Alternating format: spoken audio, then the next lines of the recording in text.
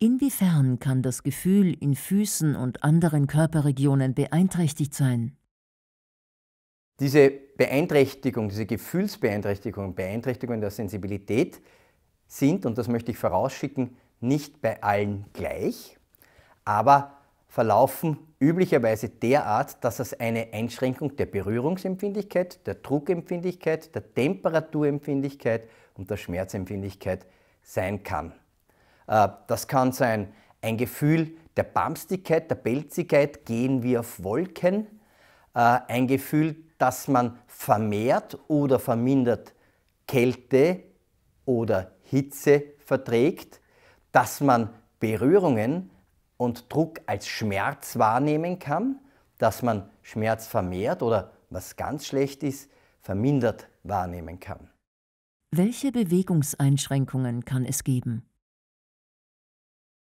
Die typischen Bewegungseinschränkungen sind ein Muskelzucken, Muskelkrämpfe, Muskelschwäche. Es kann aber auch zu Muskellähmungen, klassischerweise zum Beispiel zu einer Fußheberschwäche kommen, womit sich dann sozusagen ein schleifender Gang entwickeln kann, der wiederum zu Stürzen führen kann. Inwiefern können Organe oder das Kreislaufsystem betroffen sein? Beim Kreislaufsystem beginnen wir mit den Durchblutungsstörungen zum Beispiel des Herzens, den sogenannten kardialen Ischämien, die man üblicherweise spürt. Sie haben sicher schon den Terminus Angina pectoris gehört, weswegen dann Patientinnen und Patientinnen zum Herzarzt, zum Kardiologen gehen und sich entsprechend behandeln lassen, wodurch zumeist Herzinfarkte verhindert werden können.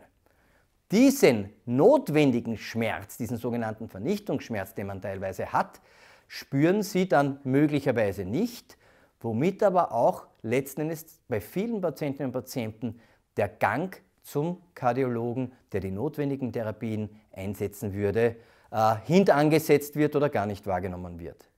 Weitere Organsysteme, die betroffen sind, sind der Magen-Darm-Trakt und ihr harnableitendes System, wobei einerseits Verdauungs- und Stuhlentleerungsstörungen und dann Harnentleerungsstörungen mit allen ihren Konsequenzen resultieren können. Weitere Strukturen, die betroffen sein können, sind Knochen, Bindegewebe, Haut, Verletzungen in den von den Polyneuropathie betroffenen Bereichen heilen deutlich langsamer und schlechter, können infiziert werden durch Bakterien und können sich zu chronischen Wunden ausweiten.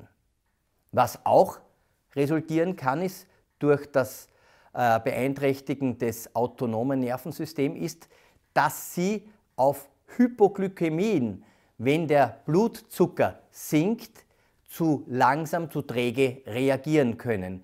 Also eine Stoffwechselproblematik. Welche anderen unspezifischen Symptome können auftreten? Vermehrtes aber vor allem auch vermindertes Schwitzen an den Handflächen und Fußsohlen äh, kann auch als typisches Symptom der Polyneuropathie auftreten.